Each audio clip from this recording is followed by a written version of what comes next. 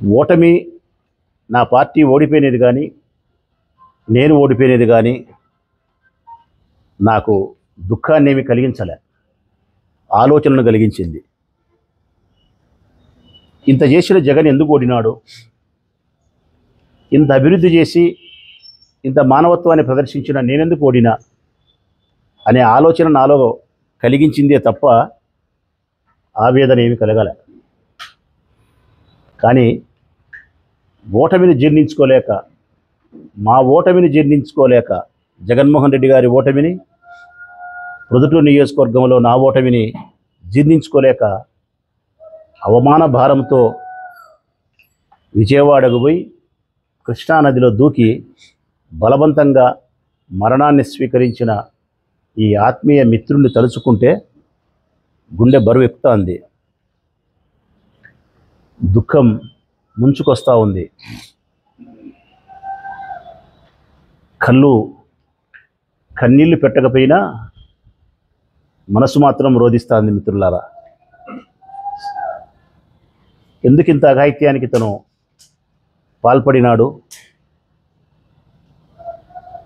రాజకీయాల్లో గెలుపు ఓటములను సర్వసాధారణంగా స్వీకరించాల్సినటువంటి మనం మన ఆత్మీయులను కుటుంబ సభ్యులను భార్యాపిల్లలను వదిలి మరణించడం అంటే నిజంగా ఆశ్చర్యం కలుగుతూ ఉంది.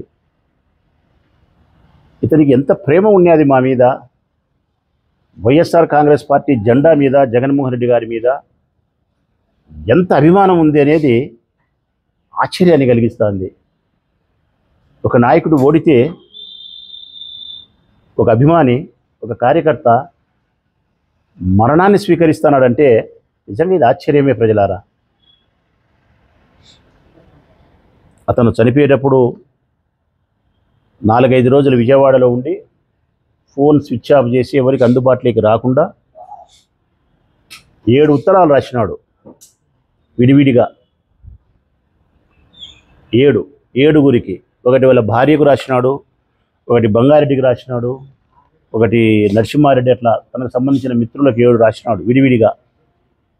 ఏడు రాసి తన దగ్గర ఉండే బంగారు కడియము తన పర్సు అందులో కొంత ఇరవై ఇరవై వేలు డబ్బులు అవన్నీ కొరియర్ చేసినాడు ఇంటికి. ఈ ఏడు ఉత్తరాలు కూడా కొరియర్ ద్వారా పంపించినాడు వాళ్ళ భార్యకు.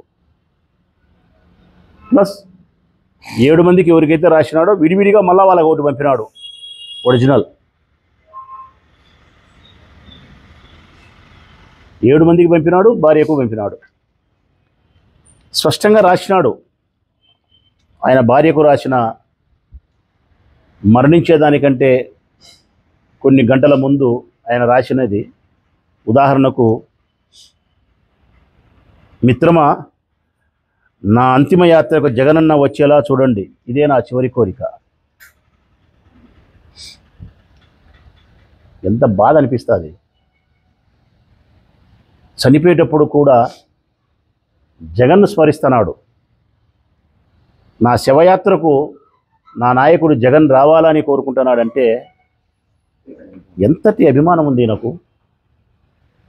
ఇట్లా అభిమానులు జగన్మోహన్ రెడ్డి గారికి లక్షల మంది ఉండారు.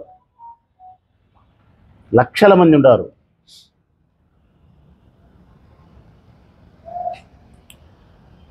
అందరినీ అడిగానని చెప్పండి. ముఖ్యంగా ఎమ్మెల్యే గారిని రమక్కను కిరణన్నను మరీ మరీ అడిగినట్లు చెప్పండి. క్షమించమని చెప్పండి. చాలా ఆలోచించి నాలుగు రోజుల సమయం తీసుకొని నా తనువు చాలిస్తున్నా. ఇకపై బ్రతికినా కూడా రోషం చంపుకొని తల దించుకొని బతకాలి. అది నా వల్ల కాదు. పులిలాగా బ్రతికిన మనం పిల్లిలాగా బ్రతకలేను పొద్దుటూరులో. పెళ్ళాం బిడ్డలను తలుచుకుంటే చాలా బాధగా ఉంది. రెండు వేల ఇరవై తొమ్మిదిలో మీరు మంచి పొజిషన్లోకి వస్తారు. మళ్ళీ మన పార్టీ అధికారంలోకి వస్తుంది. అప్పుడు ఈ మిత్రుని మర్చిపోవద్దు స్మరించుకోండి. ఇది ఆయన రాసినది. ఇది